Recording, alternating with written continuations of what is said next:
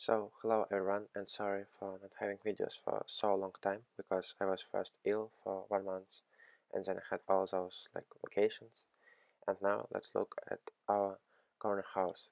It's uh, made, made out completely by myself, it isn't a Lego set because uh, I ran out of all kind of corner houses and yeah, let's look at it closer. So it is complete, it is uh, like two different houses that make uh, one block. And uh, one of these is like uh, some kind of shop plus living place and another one is church. So here we have very cool panoramic view. Uh, yeah there are like four windows and uh, view is very spectacular. In the future it will be so cool.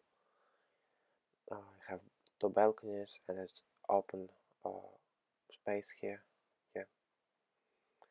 so now let's look at this part. I really like this house because I think it's like very very unusual. A roof is something very special. Uh, yes, there are lots of windows and uh, now let's look uh, from above. As I said, uh, shape of it is very spectacular. So, mm, yeah. it just uh, stairs uh, facing up and downwards in different uh, directions. I really like playing with rows and I think uh, it is very good. So next uh, week, not next week, like this week, we'll have videos every day. So today, like on Monday, yeah today is Monday, then next day and uh, so on.